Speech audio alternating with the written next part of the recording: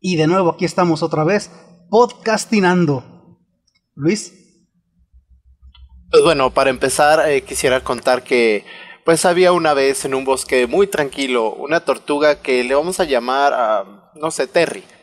Terry era pues no una tortuga cualquiera, era una tortuga filósofa que pasaba pues sus días contemplando el mundo desde su caparazón y reflexionando pues hasta en la inmortalidad del cangrejo, ¿no? El universo y todo lo demás que se le ocurriera. Entonces un día mientras Terry meditaba bajo el árbol, se le acercó un conejo llamado eh, Speedy.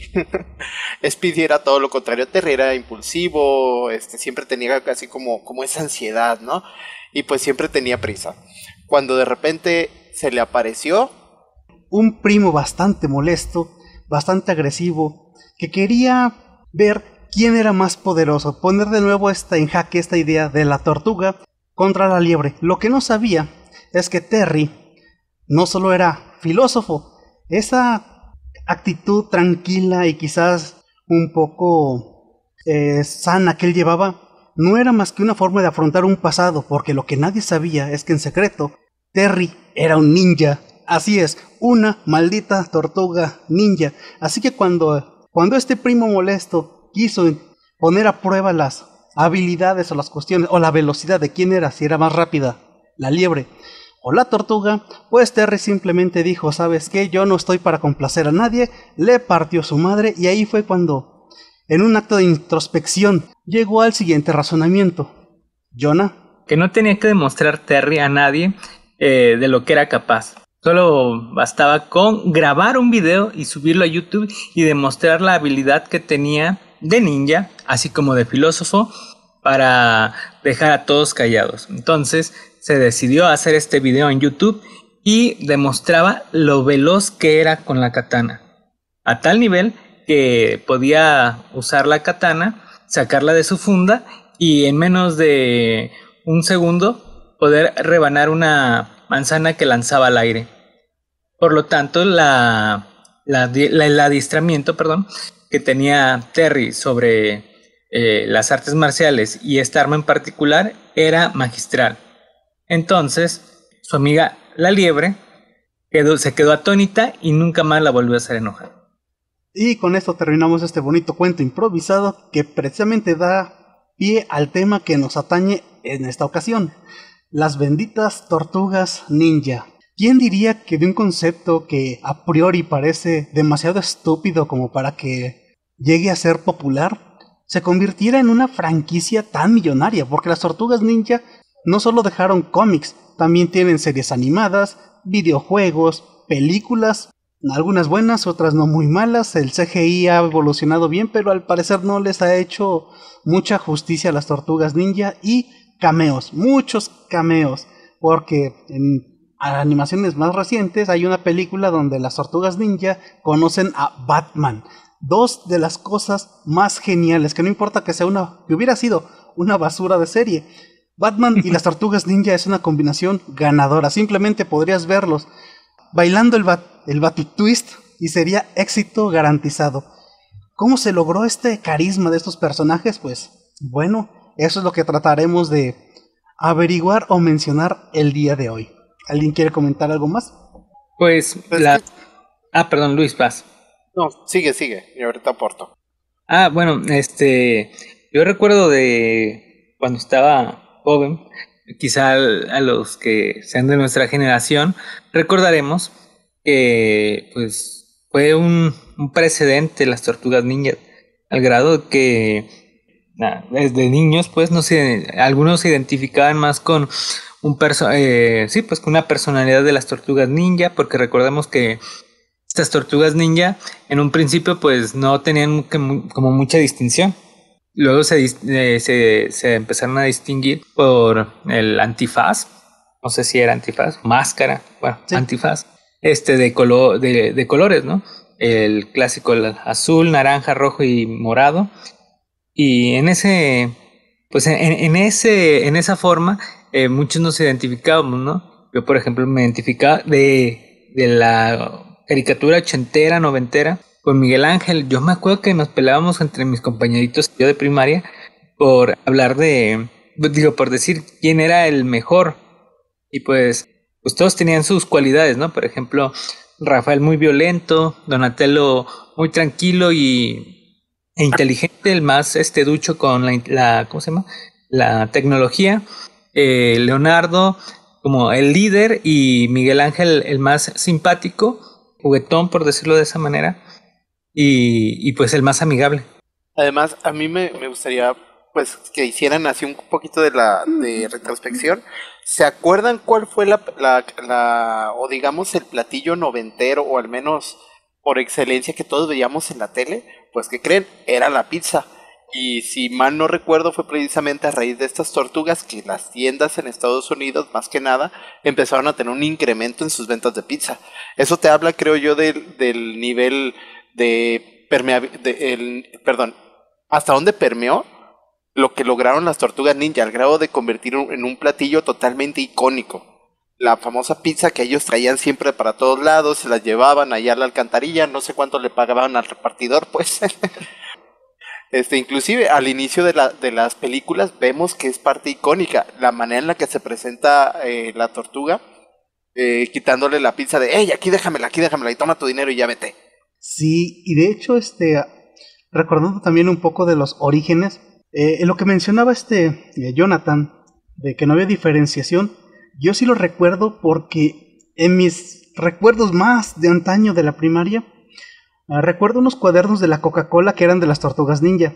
Y en esa época las tortugas todas tenían el antifaz en color rojo, lo único que las diferenciaba era el arma que, que portaban y que en el cinturón tenían un, como una pequeña hebilla circular donde tenía el, la inicial del nombre de cada, de cada tortuga. Y eso era la única diferencia. No es hasta que se viene la serie donde ya pues se les aplican más colores y empiezan a tener una, una personalidad más marcada que conforme se fue avanzando la historia fueron marcando más las personalidades. Quizás al principio eran quizás solo unos rasgos que las distinguían, pero después se fue marcando mucho más la personalidad, se fue volviendo, eh, volvemos a Leonardo, lo volvieron a, mucho más maduro, lo volvieron mucho más tranquilo. A, a Rafael también lo, volvieron más impulsivo, o sea, acentuaron más las, las personalidades para tratar de definir un poco más a los personajes. Pero, pues sí, lo que mencionas de la pizza me hizo recordar un detalle, que este fenómeno ya sabía, ya había sucedido antes y fue precisamente con Popeye. Con Popeye y las espinacas pasó lo mismo. La caricatura sí afectó de manera positiva la venta de espinacas y, es que es cuando un producto, un producto animado o de entretenimiento llega a ser tan popular, pues impacta en lo que dice, en lo que consume y en los productos. Por eso la, la mercadotecnia y las caricaturas ya van muy de la mano. Casi siempre, muchas caricaturas de hecho, se hacen con el único fin de crear juguetes o de crear mercancía, porque tienen ese impacto. Claro, yo me acuerdo de las, de las figuras de las tortugas ninja y pues de chiquito tenía que pedir una, ¿no? La tenía. Y justamente era la de Miguel Ángel. Entonces, eh, de hecho me encantaba el plástico con el que estaba hecho y cómo olía. Era un plástico muy diferente a los juguetes que yo tenía. Sí, es que también esa es una de, de las cosas. Depende de, pues también del tipo de, de material y de juguete que fuera. Porque pues a la par de, todo eso, siempre se, busca cierta calidad. Yo recuerdo que hablando de juguetes, los que siempre eran más populares eran los de los Caballeros del Zodiaco. Oh, y las figuras de Bandai.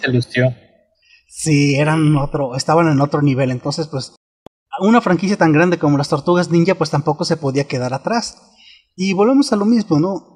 Esto no solo se quedó en esos antiguos cómics que nacieron con elementos copiados de Daredevil, esto evolucionó a sus propios videojuegos y al menos en los videojuegos, el de las tortugas a través de los que viajan en el tiempo y el otro clásico precisamente de, del NES, ¿cuánto dinero no se me fue ahí en las pinches maquinitas tratando de pasar esos niveles ultra cabrones y que pues igual de hecho jamás los terminé, jamás llegué al final, nunca tuve suficiente dinero para, y para terminar los juegos. Además, que recordemos que en esa época no bastaba con que tuvieras incluso dinero infinito, tenías continúes limitados, entonces solo podías continuar la partida tres o cuatro veces y si no lo lograbas, vas de regreso a iniciar el juego desde, desde el inicio. Principio. Sí, los juegos antes eran, los videojuegos antes eran más cabrones y más injustos.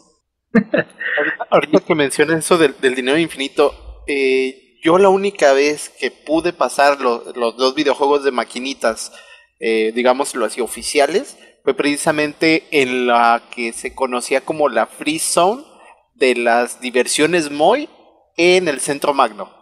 Era un lugar donde en aquel tiempo, onda 94, 95, tú pagabas creo 45 pesos, podías estar todo el día jugando maquinitas. Es el único lugar donde pude terminar precisamente las dos maquinitas y pues ya de refilón me aventé la de los Simpson, también un clásico de beat em up. Ah, diversiones Moy, ya desapareció esa madre. Y todavía aquí por, por mi casa, los que somos de Guadalajara, eh, recordarán Plaza Las Torres y hace algunos años todavía estaba existían las diversiones Moy. Sí. Y de otro lugar no sabía. Por cierto, hablando de los videojuegos, este, hace rato le comentaba a Ángel que me acordaba mucho de los dos juegos de las Tortugas Ninja.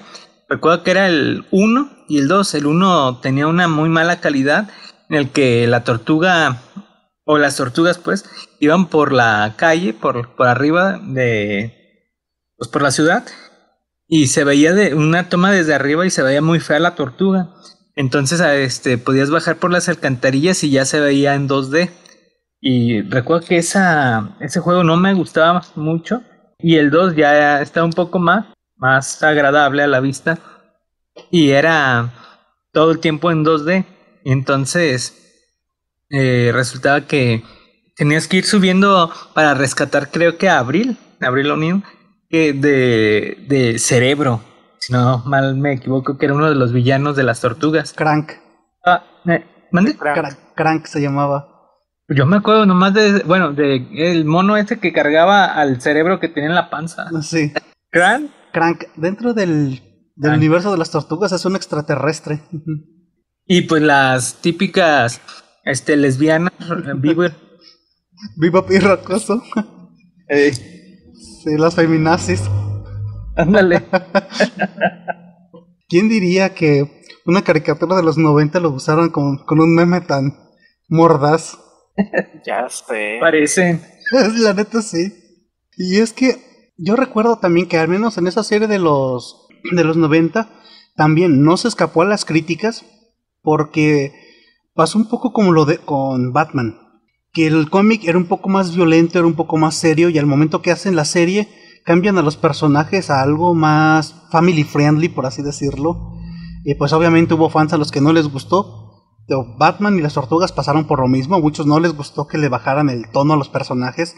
Pero por más que hay este sector puritano a los cómics, lo que no pueden negar es que fue precisamente ese cambio que le hicieron lo que les abrió la puerta a las franquicias para que se pudiera expandir y claro, ya teniendo una fanbase fuerte, ya teniendo cierta reputación y cierta popularidad, esto fue lo que ayudó a que fueran tomando pues un tono cada vez más serio porque en cuanto a series animadas, la primera sí era muy cómica, sí era muy infantil, pero después hay un cambio radical en las que hubo alrededor del dos, de los 2000 donde era una serie un poco más, más madura, un poco así, un poco más violenta. Tuvo su cierta popularidad, pero después sacaron ya otras, otros reinicios. Hay una que está en 3D, no, no la no recuerdo bien, jamás la, la llegué a ver, pero dicen que también le fue bastante bien, a pesar de que volvieron a bajar un poco el, el tono de la serie. Pero es la ventaja de que puedes manejarte en estos dos polos, por así decirlo, algo más maduro y algo muy infantil, porque todo lo que pongas en medio, pues entra, entra dentro del canon, no dentro de ya lo tolerable. Así que te da un margen de acción bastante grande para que tus historias puedan ser o más infantiles o un poco más maduras. Y no estás aquí reinventando más nada, ¿no? Porque ya se han tocado esos, esos límites. Y es una de las ventajas que tiene la franquicia, ¿sí? Ah, creo que, que le ocurre un fenómeno muy similar eh, guardadas proporciones, pues porque pues uno es, fantasía, eh, a lo que le ocurrió a Harry Potter y sus libros, que empezaron muy pequeños eh, los lectores y con una, una trama así un poco aniñada, pero conforme fue creciendo, el lector también fue creciendo y se volvió una trama un poquito más oscura, un poquito más, ya, ya problemas más de la adolescencia, tirándole a la adultez. Y pues sí, ya también más oscuro el tono de, de, las muertes de los magos. Acá con las tortugas ninja creo que te pasa lo mismo. Empiezas o adquieres una gran fanbase a base de tus, de tus series y tus cómics este, family friendly conforme va creciendo tu fanbase, pues le, empiezas a ver historias más maduras. Y ahorita ya tienes tanto eh, las tortugas ninja eh, con cómics como por ejemplo el La Running, que es una historia totalmente desgarradora. Y también te da la opción a los que mencionas, las, las tortugas en 3D de Nickelodeon, con vamos a adquirir una nueva fanbase de nuevo, con un tono un poquito también family friendly pero sin dejar de lado sacarle producto a nuestra primera fanbase, que es la que tiene el dinero, que es la que es el papá de la fanbase a la que le estamos apuntando también ahorita. Claro. Eh, ahora, bueno, creo que eh, en, ese, en, ese, sentido si va, va a la par. Puede ver, por ejemplo, en las películas, las películas no, bueno, las de los años noventas y las, la última, las últimas dos creo, ¿En el 2000 qué? ¿2014? ¿2016? Ah, sí, te busco el dato. bueno, eh, este, pues son, son, son violentas. Y la primera, por ejemplo, la de los noventas, el primer live action, pues eh, me acuerdo que al destructor eh, se, se, le va a Splinter y nada, muerto y apachorrado por el camión de la basura. Mira, aquí tengo el dato de las películas. Eh, las de live action es del 2014 y del 2016. Y en el 23 se estrenó la nueva, que es la de Caos Mutante. ¿Las noventeras?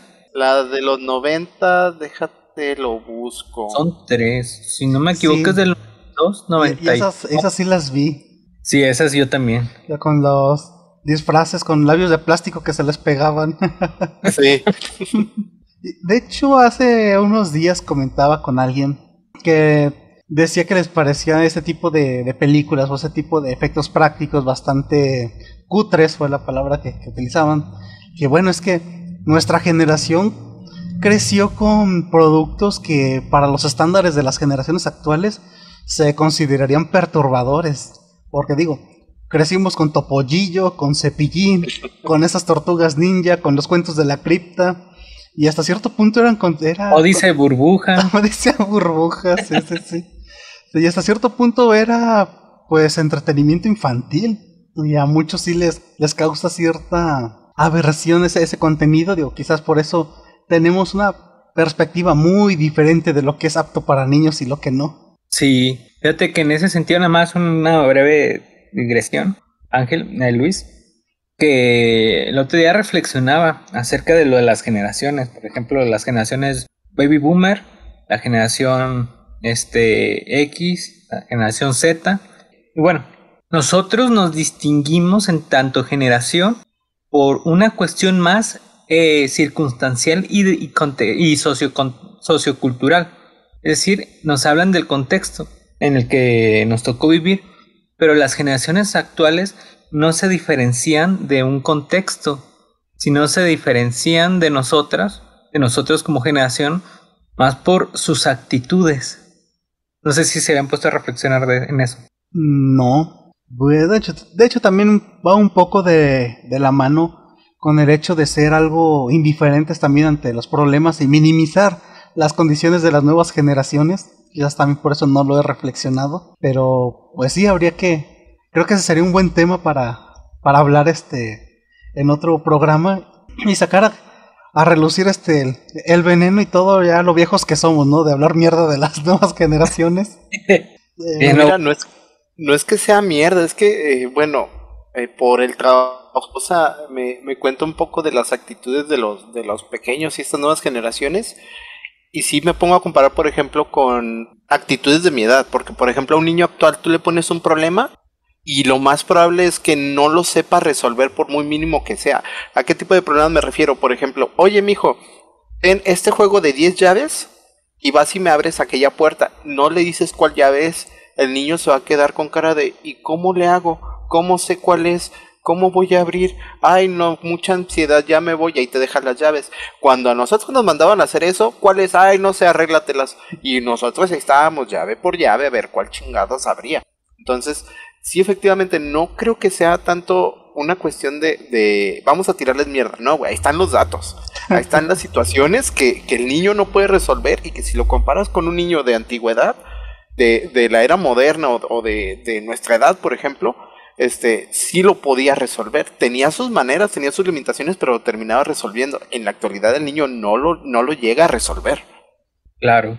Y, y luego lo que me he encontrado con mis compañeritos de escuela, pues son niños, eh, en su actitud. Eh, ay, me caí tan gordo que repitan lo, lo que escuchan en...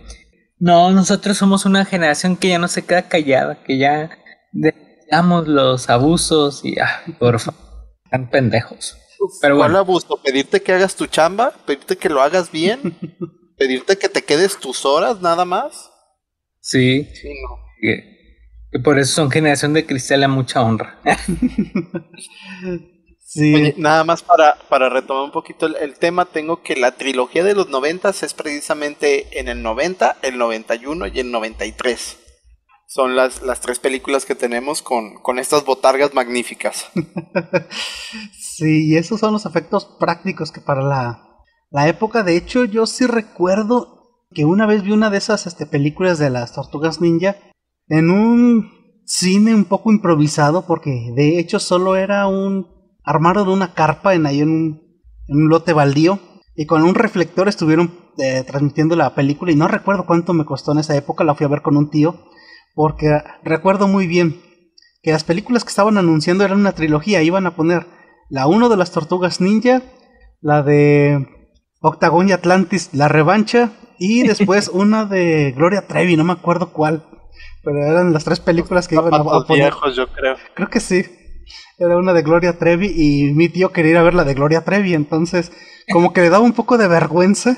Entonces, ah, voy a llevar a mis sobrinos a, a ver la de las tortugas ninja. Un gusto culposo. sí. Pero sí. Y... Ah, perdón. Pero esa era la, la, onda con esas, con esas películas que tuvieron su, su auge y sí ganaron buen, buen dinero porque es una franquicia que volvemos. Los cómics no han, no han perdido circulación, siguen teniendo historias interesantes y los mismos. Recuerdo ahorita una otra, eh, otro crossover que tuvieron en una ocasión con los Power Rangers. Ah, no sabía. Y inclusive tienen a, a, la quinta tortuga, creo que es una tortuga femenina. Sí, Venus. Pero sí tienen su, su crossover, está... Está muy puteado, pero eran las tortugas ninja. No, y eran las tortugas con los Power Rangers del momento, o sea, no cualquier sí. cosa. sí, que, tam okay. que también los Power Rangers este, tuvieron su, su época que también nos daría bastante para, para hablar. Pero sí, en esa, en esa época no recuerdo cuál, cuál versión de los Power Rangers fue.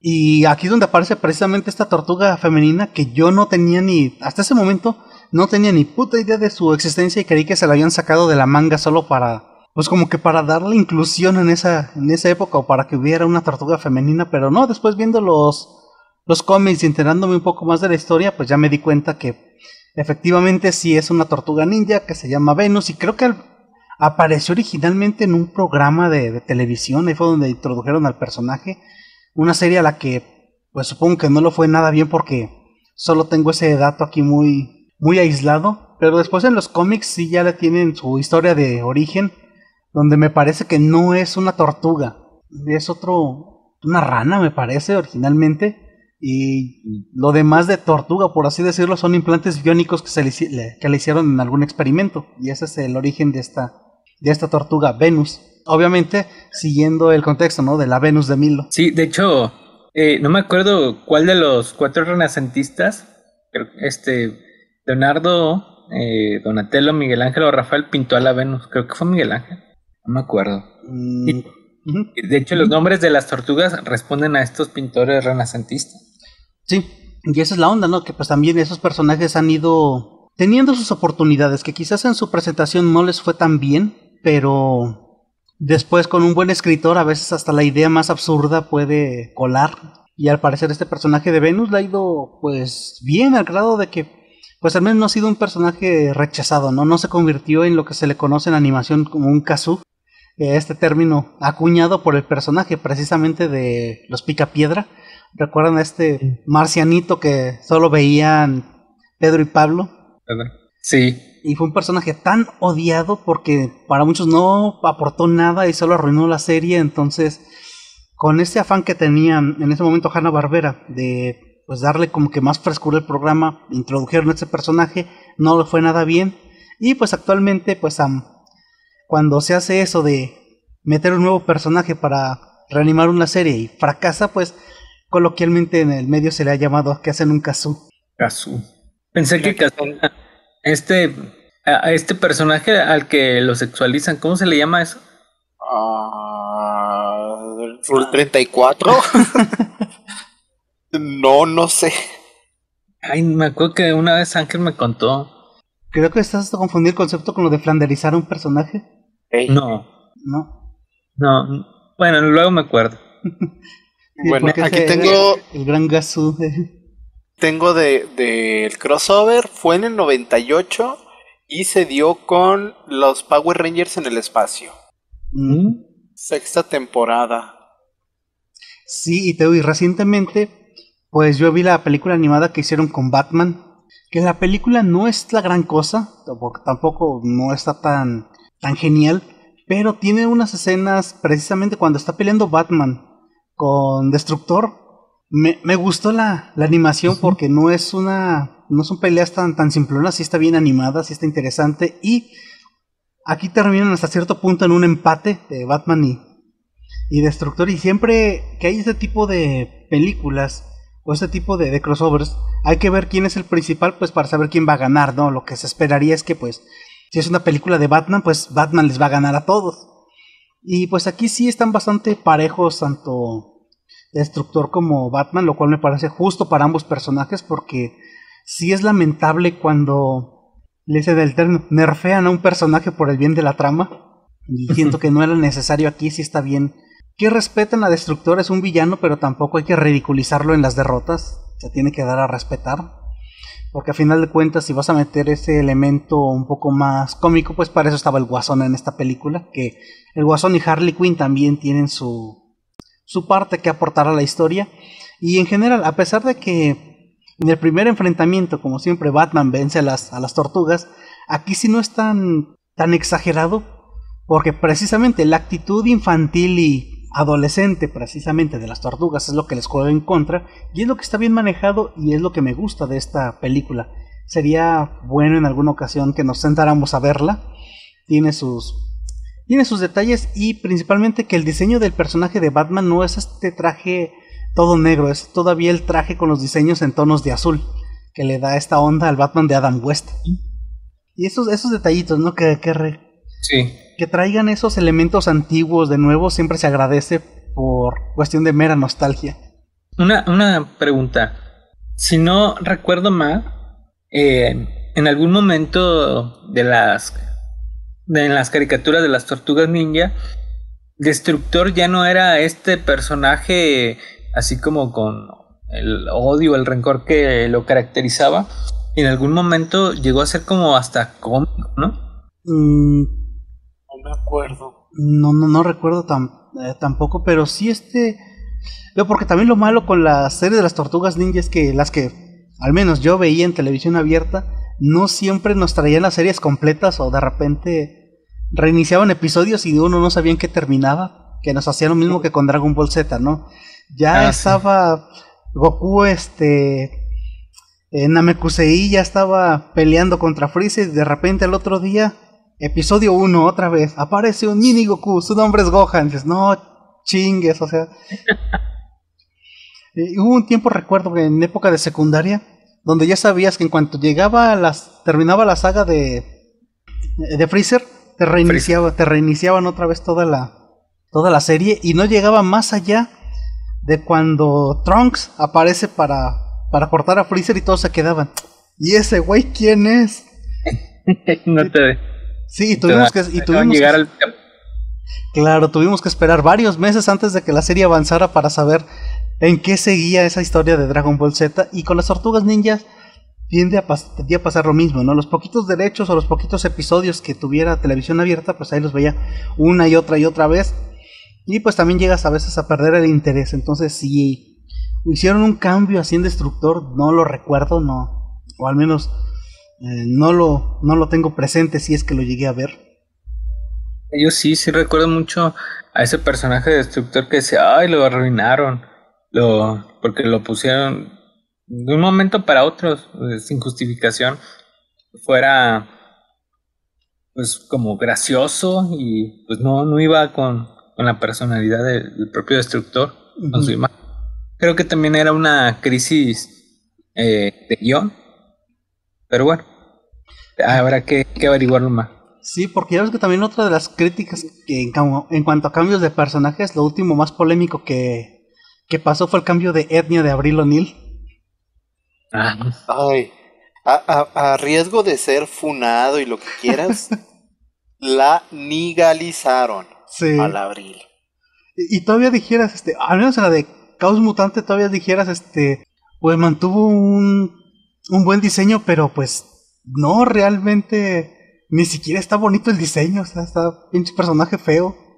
Lo chistoso es que si mal no recuerdo, el diseño de esta Abril que mencionas es muy similar o, casi idéntico al diseño original de Abril O'Neill en los cómics. E, ese es algo curioso, algo que se ha mencionado y muchos han, han dicho que pues en realidad, si componemos de nuevo en contexto el diseño que tenía Abril O'Neill en, en los cómics, pues muchos asumen precisamente que era negra por el tipo de peinado, pero pues no, los permanentes en ese estilo abultado y así, este, pues como se le ve el cabello, no era exclusivo de, los negros, era una moda. Recordemos que hasta cierto punto en la película de Terminator, en la 1, el primer peinado con el que sale Sarah Connor es uno similar a ese, un permanente así todo esponjado. Entonces, aquí tengo que el artista suele inspirarse en sus parejas para dibujar a sus personajes femeninos. La mujer que sirvió de inspiración para el nombre y para la apariencia de Abril O'Neill fue Abril Fisher, con quien estuvo casada por un tiempo y si quieres te mando la foto para producción. Mostrarla. De hecho, ahorita que dicen del, del, de la moda, me acuerdo que en la película de Flashdance, la la protagonista traía el pelo muy parecido a de los cómics. sí, y aparte estoy, viendo que en el cómic pues no ayuda que en los primeros cómics que se realizaron pues era blanco y negro. Entonces sí el personaje tiene un entintado que la hace ver como si fuera un personaje afroamericano. Pero bien dices, pues a final de cuentas, mientras no salió a color y ese, ese estilo era el que predominaba en aquella época de moda. Sí, eran las, las modas de los peinados, así bastante vistosos. No, inclusive lo puedes ver reflejado en el traje de Shredder, eh, como la moda era traer este hombreras, ah, el, peinado así todo afro, este el personaje totalmente podemos decir no mamado, pero sí como, como ese héroe de acción típico de, de los ochentas, inicio de los noventas, donde pues por ejemplo Silvestre Stallone. Sí, Van no, no tan, no, tan, ajá, no tan, no tan marcado en su musculatura, pero por eso digo un, Jean-Claude Van Damme así estéticamente eh, ponchado, pero sin llegar a un Arnold Schwarzenegger, a un Stallone, a un Carl, Carl, el que falleció desafortunadamente hace poco, Carl Rice, creo que se llamaba. No, Ay, no me acuerdo. pero de antes, de que, antes de que fueran fisicoculturistas, ¿no? Así. Eh. Exacto. Sí, el personaje que usaba el, ¿Bastón de hockey? Casey Jones. Ah, Cassidy Jones. Casey Jones, ajá. Sí, dame, este otro, una parodia en su principio a los, a los vigilantes tipo Batman. Es increíble cómo, cómo efectivamente pues toma eh, otros elementos, porque por ejemplo estoy viendo que el clan del pie es una parodia del clan de la mano de Daredevil. de hecho por ahí era sí, tal cual. De hecho, por ahí era el chiste, por eso no les dibujaban las pupilas a, a las tortugas ninja, porque era la parodia de que estaban ciegos. Que en realidad no lo eran, pero eh, digamos que visualmente era la impresión, porque sí, este, mucho de las tortugas ninja era una parodia y diagonal de inspiración de Daredevil. que de hecho también han hecho crossover con Daredevil, si no me equivoco. De los crossovers más raros que tengo, de ellos hay en cómics. Hay con los cazafantasmas, hay con Archie y el que mencionas de Batman.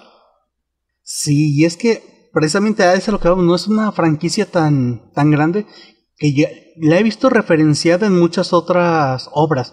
Recuerdo que incluso en los Tiny Toons también hacen referencia a las tortugas ninja. Hay un episodio donde están viendo una caricatura, pero ahí se llaman que las, eh, las babosas ninja.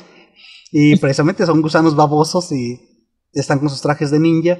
En Garfield y sus amigos en, el, en la sección de la granja de Orson, recuerdo que hay una parte donde se están queriendo reescribir eh, el cuento de la liebre y la tortuga. Y están diciendo que la tortuga es un personaje aburrido. Dicen, ya sé, hagámoslo, un ninja. no, creo que esa es una idea ya bastante usada. Entonces, sí, es, esa es la popularidad que tiene este. que tuvieron esos personajes. Por eso, pues a la fecha no han dejado a la franquicia, porque sigue siendo popular y creo que sigue teniendo mucho que dar, a pesar de que a quizás alguna de sus últimas series no les ha ido muy bien, pero fracasos no han sido. inclusive han pegado tanto que, si mal no recuerdo, hace unos años, o han de estar todavía en producción, eh, sacaron una nueva edición de los juguetes al estilo de los ochentas. El de los noventas, perdón, esos juguetes así todos chonchos, con la cara súper estirada en, en, los cachetes, que pues a final de cuentas, como bien dices, en, en inicio del programa era como el santo grial de los juguetes. Ese junto con los caballeros del zodiaco era un, Dios mío, lo quiero, pero pero están caritos, ¿no? Y escasos aparte. Cierto. Pero no podías este decir que niña porque vendían la, la versión pirata. Bien ah, chafas y de por si eran feas, era pirata era peor. De esos como los, los de inyección de plástico las luchas, ¿no? Sí. Ey, ándale. De hecho, en algún punto, así dentro de, los juguetes que yo recuerdo que llegué a, a tener, sí tenía mi, mi ring, mi de, luchadores. Y era interesante poner a, luchar al santo contra Brolic y a Leonardo de las Tortugas Ninja. el único juguete, digamos así, original que pude tener de las Tortugas Ninja era un, comunicador, el comunicador pues de las tortugas, pero eh, te traía una lista para que aprendieras tú de morro el morse. Nada más, pues yo no tuve un maestro que me enseñara ni, ni cómo hacerlo bien, pero pues por ahí debo de tenerlo en mi colección. Pero yo creo que si le hubiera echado ganas, sí, sí me aprendo el morse, porque te digo, ahí venía todo, y cada vez que tú pulsabas, efectivamente se veía la lucecita y hacía el sonido del morse. Era la onda. puedes encontrar código, cómo aprender morse, este en internet, muy fácil. Sí, pero pues ya volvemos a lo mismo, ya ahorita hay más, más hueva de aprender esas cosas y quizás cuando había más interés. Yo o más tiempo, ¿no? Sí, también. Porque yo lo un momento, pero ah, me aburre, como dice. Eso, eso. y esa es la, cosa con estas franquicias. Que de hecho también de la serie de los, de los noventas es una de las que me han eludido. Las quiero, la quiero descargar y la quiero tener y nomás no la encuentro. Y es curioso porque he encontrado otras series. He encontrado la de los 2000, he encontrado algunas otras, incluso por ahí creo que la de Nickelodeon sí encontré una página donde podía descargarlas, pero dije, no, la que yo quiero es la de los, la de los noventas, y pues ha sido como otras series, ya tengo Dragon Ball, tengo Los Simpson, pero esa de, de las tortugas ninja no sé por qué no, no la encuentro, espero que pronto pues alguna página se, se apiade y le y traiga la, la, colección completa, así como hizo Disney con dinosaurios, que ahora está de nuevo en ah. Disney, en Disney Plus y dije, ah, tengo que completarla porque hay muchos episodios que me faltan de esa serie también buenísima y es de la época. Ahí, ¿conoces el, mítico? Yo conozco al amigo de un amigo.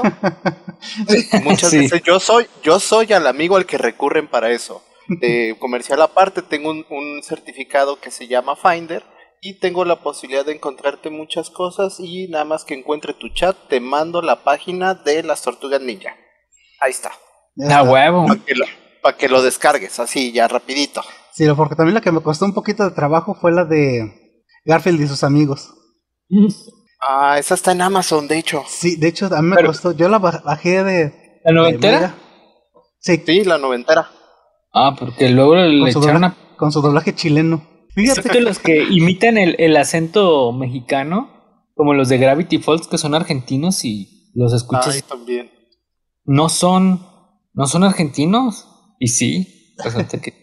Sí, de hecho, a mí no me molesta tanto porque es la. Me pasa un poco. Digo, este doblaje chileno de Garfield le tengo cierto cariño este por cuestión de nostalgia. Que me pasa lo mismo que con el opening de Los Caballeros del Zodíaco. Que en lugar del de Saint Seiya, eh, le tengo un cierto aprecio al de España, los guardianes del universo. Ah, Porque sí. pues con el que crecí y realmente por más que quiera, aquí sinceramente no lo puedo odiar. Yo todavía lo sigo escuchando. Sí, ya sé. Y es lo que pasa, ¿no? Lo mismo con el doblaje chileno de Garfield. Eh, como son lo, es lo que yo veía en mi infancia en la, en la televisión, pues al menos ese, ese doblaje en esa serie no lo puedo odiar. Ah, pero yo creo que mm, te referías a, a la nueva serie, no al... Ah, al- no, no, no, al, al clásico. Ah, ok. El clásico tiene, tiene el- su doblaje está hecho en Chile. De Sí. hecho, al, al final de algunos capítulos sí te dice programa doblado en Ah, el estudio Santiago de Chile. Santiago, sí, sí me acuerdo. y todos los que doblaba Audiomaster 3000. Sí, sí recuerdo los comerciales de, del doblaje que hacían al final de, la- de algunos episodios. Pero sí, y con esto de, la, de las tortugas ninja, entonces, pues han sido varias generaciones que hemos crecido principalmente con las series y los videojuegos, que de una u otra manera, pues es lo que mantiene la, la franquicia y el interés de cada cierto tiempo, pues darle una maquilladita. Quizás las últimas eh, dos que han hecho no han no les ha ido tan tan bien como esperaban, pero sienta precedentes, ¿no? Y ese es el detalle, que quizás esta Abril O'Neill con cambio de etnia no le ha ido nada bien, pero siempre he criticado que el problema no es que cambies la etnia, el problema es que lo hagas sin un motivo real, que solo sea para cumplir con esa agenda. Si el personaje hubiera sido interesante o por lo menos hubiera mantenido la misma personalidad, dices, bueno, pues pasa, ¿no? Dices, es un ah, solo le dieron este un cambio de imagen, pero sigue siendo en esencia el mismo personaje. Pero pues no, o sea, realmente no aporta gran cosa y no sé, se empiezan a volver un poco molestos los, eh, los personajes. Y eso es lo malo, cuando el personaje no tiene más que aportar más que su etnia. Ya lo había comentado en otra ocasión. Lo mismo que pasó cuando cambiaron de etnia a la antorcha humana. Que dices, ah cabrón, ¿cómo es que aquí me pones que la antorcha humana, con sus rasgos completamente afrodescendientes, es hermano de Sue Storm? Que aquí es una una güera blanca, ojo azul, ah, cabrón, son hermanos. Eh, creo que eso es tema de divorcio. Y sí, se sacaron eso de la manga, ¿no? Que era adoptado. Y bueno, entonces, ¿para qué chingados este, haces el, el cambio? No es tan. No aportas nada con esos, con esos cambios, y eso es lo que a mí me molesta. Y, pero volvemos a lo mismo. Este cambio que hicieron con April O'Neil, pues ya siento un precedente. Como ya, ya hubo un personaje de esta etnia, pues quizás alguien lo pueda retomar a futuro y no se le va a decir como que, ah, es que lo estás cambiando porque pues ya se hizo. Estos nuevos cambios son a los que le va a ir mal porque pues son los que se salen dentro del canon, o se salen dentro del, del espectro al que la gente está acostumbrada, pero van sentando precedentes y espero que en algún futuro algún otro eh, escritor pues haga algo bueno con este personaje y aproveche ya estas facilidades, porque de hecho hay otra serie, eh, una animada que fue de las primeras donde cambiaron la, la imagen de, de Abril O'Neill, donde no solo cambiaron eso, sino que cambiaron la especie de las tortugas. Cada tortuga hacía referencia o tenía diseño a una especie diferente de tortuga para marcar un poco más, ya no solo las personalidades, sino también la apariencia física. De ahí que eh, creo que a, a Rafael, que es un poco más grande, pues lo ponen con estas tortugas caimán, o sea, una tortuga más tosca, con una tortuga más que de una, aparen- Ujú. una apariencia un poco más imponente. Dije, bueno, ese es Hubiera también- pensado en los Galápagos. algo así, digo, son conceptos in- eh, interesantes para las, para las tortugas, que bien, quizás no le fue tan bien al proyecto, pero siento un precedente que ya alguien lo puede retomar. Claro. Inclusive tenemos el, el personaje de Abril que le hicieron una niña pelirroja totalmente. Ah, en, sí. en la serie de Nickelodeon. Este, no sé si es esa que dices de, de tortugas de diferente rasgo, pero sí me acuerdo que hay una Abril O'Neill. eh, si mal no recuerdo es pelirroja, pero es niña. Eh, digamos que el, el aspecto más, más cambiado es que es una niña. Cuando sabemos que pues Abril ya está reportera, ¿no? Este, ya está entrada en sus 20 y de repente me lo pones una niña, sí está medio raro. Y sobre lo que mencionas de, de la parte de cubrir agenda, en ese sentido, creo que eh, la semana pasada se dio la noticia de que Disney corrió a montón de productores activistas. Esos de, de la agenda woke, dijo Disney, ¿saben qué? Me están costando mucho dinero y business are business y se me van todos a chingar a su madre, por favor. Milagro. Fíjate que en Y algo que. Ah, perdón, perdón, continúa Luis. Termina. Ah, este, para terminar la, la nota, creo que vino impulsado con que a Deadpool le está yendo súper bien y que es una película con clasificación C. al grado de que también se habla de que Disney, a raíz de que corrió a esos, a esos productores, le dijo a los nuevos, ¿sabes qué? Te me centras en este público, hetero, eh, blanco, hombre entre 30 y 40 años y que todo es eh, lo más posible cercano a C o de plano clasificación C. O sea, regresando al, al, público que le dio tanto dinero a Disney. Tanto así que el libro de Bill, de Gravity Falls, eh, es para, obviamente es de Disney, una publicación de Disney, pero es para un público adulto, principalmente para personas de 25, 30 años, por el tipo de cosas que hace. Y más que nada la, la narración que tiene. Es como si te estuviera hablando de, hey, tú sí, haz esto, ¿no? Y pues no es para, para niños como muchos pudieran pensar. Y me sorprendió mucho este cambio que está teniendo Disney eh, a raíz de, de, que ya no está tanto con con la intención de impulsar esta agenda. Sí, es que han perdido muchísimo dinero, pero también volvemos a un comentario personal, irse hacia el otro extremo tampoco es la solución, o sea, está bien que hagas un contenido centrado precisamente en un, un público que te ha dado más dinero, pero recordemos que ese no es solo el público, aquí creo que Disney no está sabiendo diversificar a su público. Está bien, sigue haciendo tus películas animadas para niños y céntrate en eso, para niños. Crea un nuevo contenido. Si quieres una agenda progre, una agenda este, LGBT, pues entonces crea un producto para ellos. Secciona tu material. No trates de, tratar de meter a toda tu enorme gama de producciones y de productos bajo un mismo esquema, porque son para públicos diferentes. Y esa es la, la cosa que creo que Disney no está entendiendo. A Deadpool está yendo bien no porque sea clasificación para adultos, sino porque es un material de origen que así nació desde la 1 hasta cierto para cierto público y se ha respetado el material en ese aspecto, tanto el humor como el sentido que lleva la película se ha respetado, entonces por eso le está yendo bien ahorita a Deadpool. De hecho, sean varios comentarios de por qué hay cosas que en Deadpool funcionan y en otras series no. Digo, porque no desentonan con el ritmo y con lo que ya nos han presentado las franquicias de Deadpool. Lo que está causando los fracasos en Disney es salirse precisamente de ese, de ese nicho o de ese orden que llevan sus productos. Por ejemplo, haces eh, películas animadas para niños. Niños, está bien, siempre ha sido ese concepto, pero de repente en las películas animadas me quieres meter eh, conceptos precisamente de agenda progre, pues eso ya no va con el tono. ¿Quieres meter esa agenda? Pues crea un producto específicamente para ese, para esa agenda y crearles un producto a medida. Eso es lo que se debe de hacer. Tienes aquí tu producto para heteros, tienes acá tu producto quizás para LGBT, tienes acá tu producto para niños, tienes aparte quizás tu producto para adolescentes y así teniendo bien definido hacia dónde va cada uno de tus eh, de tus series sin mezclarlas y sin ponerle la, la agenda a todo, pues así es como va a funcionar las cosas. Desafortunadamente eso es lo malo. Disney quiere eh, cortar con la misma medida a todos sus productos y pues obviamente no vas a meter en el mismo saco, no sé, a Star, Star Wars y a Deadpool. O sea, no son lo mismo. Claro, ya este, digo, así como mm, sobre este pequeño, esta pequeño, ya gran digresión eh, de, Disney y su agenda, me parece genial lo que ha hecho HBO, por ejemplo, con la serie de La Casa del Dragón. No se espera que traten de cumplir con su cuota de minorías o algo así. Y es muy natural, por ejemplo, como eh, la casa Velaryon son negros y en los libros te das cuenta que nada que ver. Incluso son, son más blancos más, y un cabello más dorado o platinado que los Targaryen. Y los ojos más, más lilas, azules, de otros, otras tonalidades. Y, no se ve forzado eso eh, en la casa del dragón.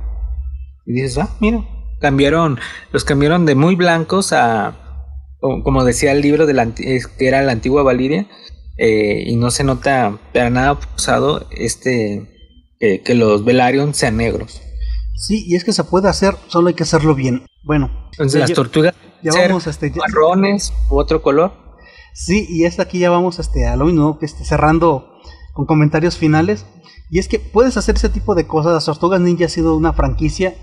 Y mientras respeten eso, que son tortugas, que son ninjas, y no respeten las, eh, la jerarquía del personaje, todo puede ir bastante bien.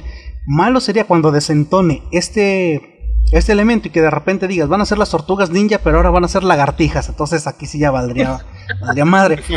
Esa es la cosa. Puedes hacer tus cambios, puedes hacer tus cambios de etnia, pero por favor, respeta el material original, que no sea simplemente algo progre y solo porque sí. Claro. ¿Alguien más? Ya, comentarios pues- finales. Pizza Time, Caguamonga, cosas que en los noventas estuvieron de lujo, que ahorita ya suenan de chaborruco y, y creo que ya nadie las entendería, pero eh, yo en lo personal sí puedo decir que mi amor por la pizza surgió de esa caricatura. Sí. ¿Algún Mm. comentario, Jonah? No, pues tengo, digo, recuerdos de, de mi infancia.